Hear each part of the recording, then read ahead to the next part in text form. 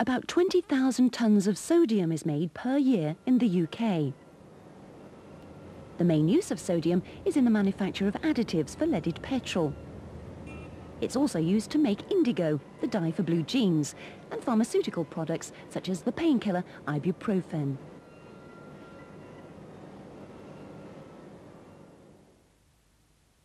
The Associated Octel plant at Ellesmere Port in Cheshire is the only producer of sodium in the UK.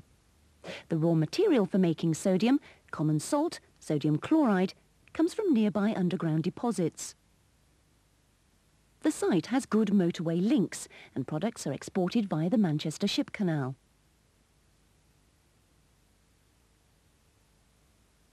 The process uses a cell with a graphite anode and a steel cathode.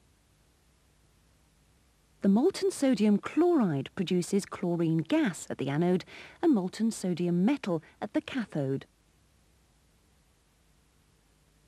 At the Associated Octel plant, salt arrives here by road. This is the cell hall, which has room for up to 100 electrolysis cells. Cells are rebuilt in this workshop. The sodium which is produced is loaded for transport here, and this is the chlorine liquefaction plant. Solid salt, sodium chloride, arrives by road five or six times a day. The salt is thoroughly dried to a moisture content of less than 0.05% in these gas-heated rotary dryers. Water and hot sodium do not go together. Electrolysis takes place in these cells, called Downs cells.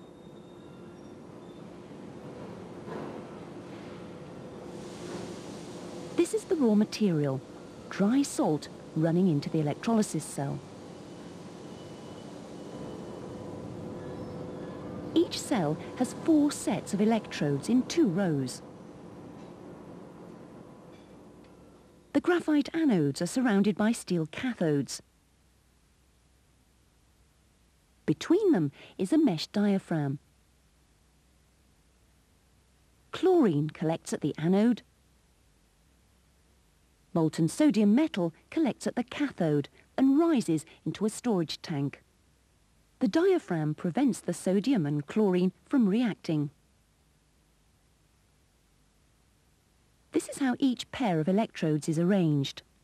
Outside is a steel cathode, then a diaphragm, and the graphite anode in the centre.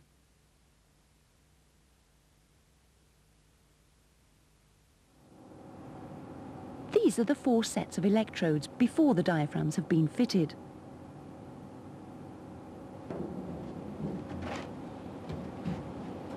The cells are made from steel, lined on the inside with heat-resistant brick. Each cell is rebuilt every 36 months.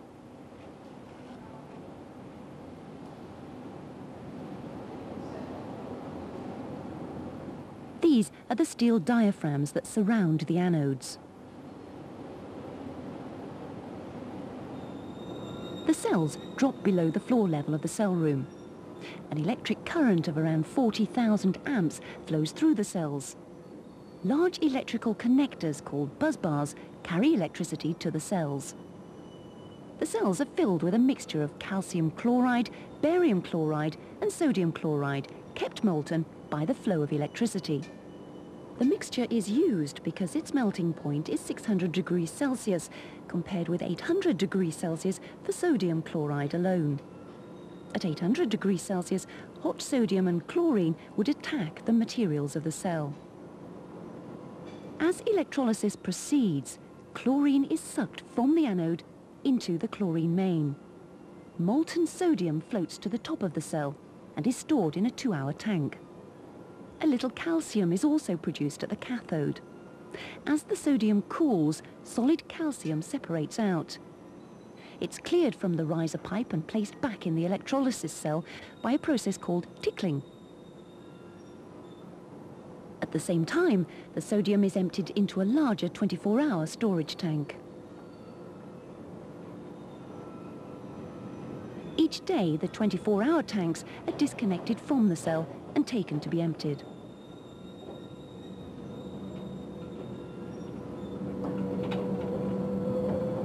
The gas flame under the tank keeps the sodium molten.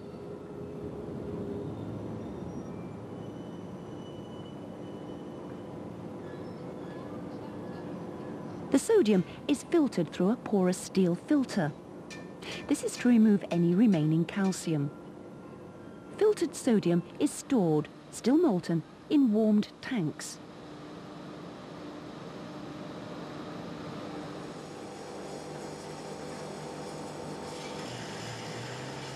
Some sodium is sold in blocks. The liquid sodium cools and solidifies in the trays.